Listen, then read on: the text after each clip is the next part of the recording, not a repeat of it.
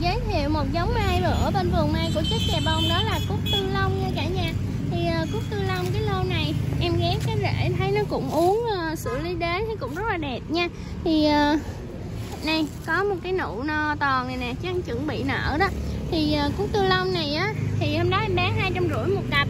Nhưng mà do đợt này em tri ân khách hàng em chỉ bán với giá là 200 ngàn một cặp thôi nha và bao phí vận chuyển cho cả nhà luôn. Còn nếu mà ai lấy ba cây thì em tính giá là 90 ngàn một cây thôi nha đây là cúc tư long nha. Đây là cúc tư long. Đây cái rễ của nó quấn như thế này đây. Thì em thấy là đủ kiểu nha.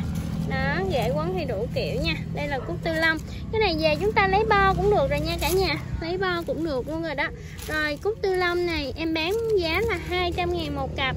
Sẽ bao phí vận chuyển cho cả nhà luôn. Còn nếu ai lấy ba cây trở lên thì em bán với giá là chỉ là 100 Ủa chỉ 90 ngàn một cây thôi nha. À, xin mời cả nhà vào xem ủng hộ cho vườn chè bông nha đây là cúc tư long ạ à.